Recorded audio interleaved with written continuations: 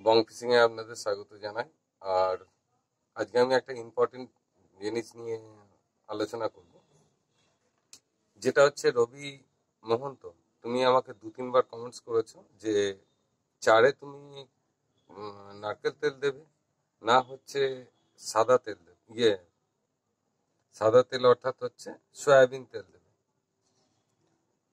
তো কেন তেলটা দেবে? প্রথম হচ্ছে এইটাই প্রশ্ন যে তুমি কেন তেলটা দেবে? কারণ আমরা হচ্ছে যে কোনো চারে ঘি আর নারকেল তেল ব্যবহার করি। এটা একটু ঠান্ডা পেলেই জমে যায়। এটা একটু যেই মানে ঠান্ডার দিনে দেখবে ঘিও জমে গেছে, নারকেল তেলও জমে গেছে। তা তখন হচ্ছে কি হয়, যখন ঠান্ডার পরিবেশ থেকে, তখন হচ্ছে চারটা জমে যায়। আর গরমের পরিবেশে কিন্তু এই মানে চারে ঘি, নারকেল তেল কোনোটাই জমে না, সবটাই ক্লিয়ার থাকে। তবুও চার ফেলতে গেলে হচ্ছে আমরা সাদা তেলটা ব্যবহার করি, ওটা যত ঠান্ডাই পড়ুক, ওটা হচ্ছে জমে না। কিন্তু একটা প্রশ্ন মাথায় রাখতে হবে যে, আমরা সয়াবিনটা কি চারে কোনো অংশে ব্যবহার করি? সয়াবিন, যে সয়াবিন তেল সয়াবিন তেল সবাই বলে কিন্তু আমার মতে মনে হয় যে আমি চারে কি কোনো দিন কোনো ভাবে সয়াবিনের কিছু জিনিস ব্যবহার করেছি? করিনি। আমরা চারে বা টোপে ব্যবহার করি হচ্ছে ভাত।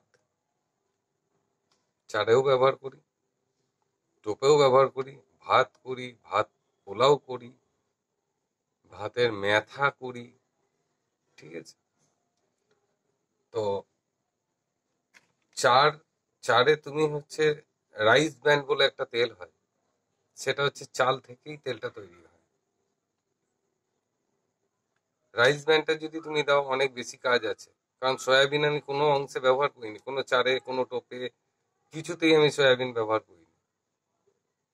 তাহলে আমি কি ব্যবহার করেছি? আমি চারে বা টোপে সবেতেই আমি চাল ব্যবহার করেছি।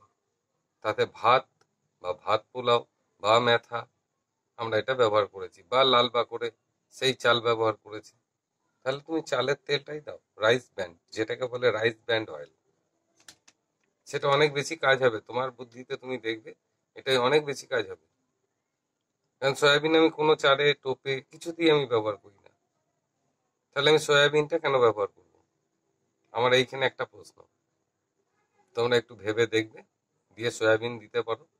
আর উম, নচেত হচ্ছে তুমি সাদা তেল দিতে পারো মানে রাইস ব্যান্ড অয়েলটা ব্যবহার করো আমি সবসময় রাইস ব্যান্ড অয়েলটা ব্যবহার করবার জন্যই তোমাদের বলব।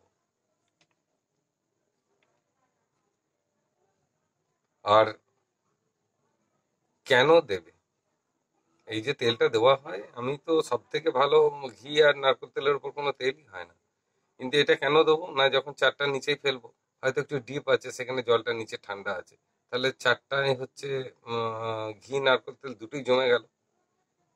এবার তখন ওই তেলটা চট করে ভাসবে না, জলের উপরে তেলটা উঠবে না। যার জন্য হচ্ছে মানে সাদা তেলটা দেওয়া হয়, ওটা ঠান্ডাতেও জমবে না, গরমেতেও কিছু হবে না। তার জন্য ওই তেলটা ব্যবহার করা হয়, ও ঘি, নারকেল তেলের সাথে মিশে এবার হচ্ছে ও ফুট ছাড়বে মানে ও হচ্ছে উপরে ভাসবে।